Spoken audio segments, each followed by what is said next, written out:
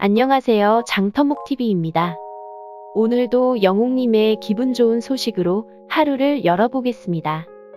영웅님이 어제 지인의 생일 축하 영상에 나와 팬들 사이에서 난리가 났는데요. 영상은 지인의 생일을 축하해 주려고 영웅님이 찍은 셀프 영상입니다. 영상 내용을 함께 살펴보면 안녕하세요. 영웅입니다. 이번 생일도 진심으로 축하드립니다. 조만간 또 한번 내려가겠습니다. 다시 한번 생일 축하합니다. 건행이라고 축하 영상을 남겼습니다.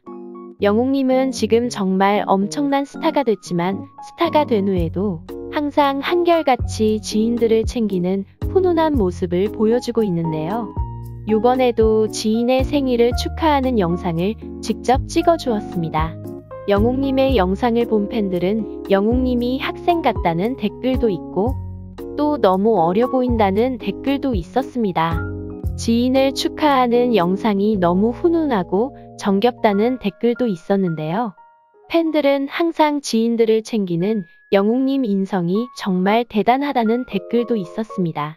영웅님의 이런 인성갑인 모습에 우리가 또 한번 영웅님께 반하는 것이 아닌가 하는 생각이 듭니다. 여러분들은 어떠신가요?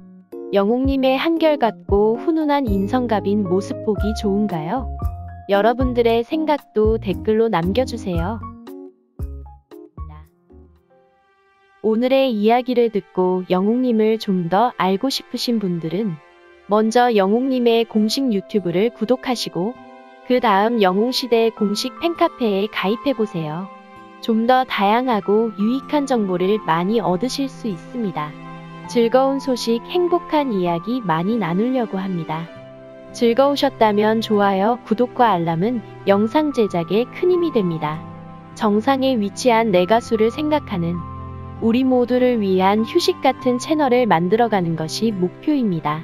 장터목TV 앞으로도 많은 응원 부탁드립니다. 감사합니다.